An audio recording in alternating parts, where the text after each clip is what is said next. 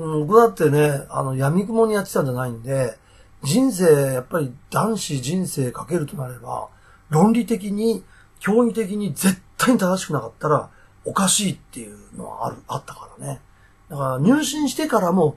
半分疑いながら勉強してたもん。本当かって、本当に日蓮召集だけが正しいと言えるのか、証明できるのかっていう、その探求はずっと続いてたよ。で、35ぐらい過ぎてから、かな、もっと経ってからか、もう絶対間違いねえっていうところに到達したね。その、競技的だけじゃなくて、自分のその内観、内観的なことを、まあ、ある一つの、まあ、悟りというか、た、達したものも含めて、間違いない本当におっしゃってる通りになった。おっしゃ、仏様が言ってる通りになったっていうね。それにおいて、そこからまた翻って他の宗派勉強すると、もう本当に軽い、浅い、歪んでる、うーん、曲がってるっていうのはね、本当にわかりますわ。はい。ほぼほぼ、ほぼほぼそんな感じじゃないですかね。なんかあの、そうです、そうです。あの、おっしゃる通り。結局、正しいってのは一つしかねえんだから。うん。要は、富士山の一番の頂点、一番高いところってのは、1ミリしかないわけだよ。その場所って。それ以外は全部一番高くないわけだよね。宗教だって同じなんですよ。ただ、まあ、世の中の法則ってそうじゃないですか。万有引力の法則って言ったらもう、万法、万古不益の地球中に住んでる人はみんな同じ一方の影響を受けてるわけだよね。それが1ミリでも違うとか、5センチ違うとかって、落ちる場所が違うとかっていうなれば、それは全部邪法ですよ。そういうことを言ってる人がいれば。っていうことは、法則というもの、存在は一つだ。存在というものは、あの、種々雑多な変化層は見せるけど、存在してるっていうこと自体は一つなんだから、そうすると、そこに貫く方っていうのは、根底は1しかないんですよ。一方しかない。で、それ以外みたいなことを説いてるのは、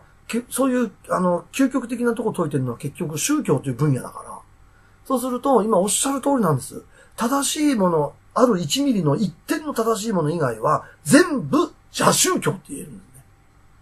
これは、これがなかなかね、あの、世間の人の耳には耳障りな話ですけども、実際はそうですもの、ものの道理として。あの、さっきの純粋性で言ったって、例えば、えー、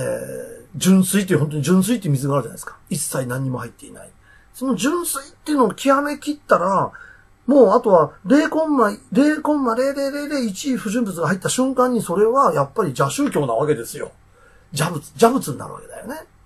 そう、物事の道理ってみんなそうなんだよね。命っていうものだって幻覚無比なものだから、その幻覚な無比なところに、いい加減な解剖学の知識でメスを入れてるようなものがありとあらゆる宗教ですから。対して江戸時代みたいな、あんな雑白な解剖図で人の腹にメスを差し込むようなことしてるのが宗教ですよ。本当に人間の体を裂くんだったら、本当に徹底した解剖学に乗っ取ってなきゃいけない。だから、命を扱うんであれば、命に対して徹底的な解剖がされた、解明、探求がされた上の宗教をやらないと、えらいことになっちまうってことなんだよね。長い間に。だからそうするとおっしゃる通りで、一方しかないんです。そして私41年かけて、えー絶対それは、あの、日蓮召集でって、だったっていうことは、もうこれは命をかけても、あの、誰が、誰に問われても、説明しに出かけていきたいくらいの、あの気持ちですね。冷静にこういうね、赤ちゃんみたいに冷静に話聞いてくれるんだったら、誰人にもこの話をしたい。そして、どんな高度な質問されてきても、ほぼ、ほぼ答えられるだろうと。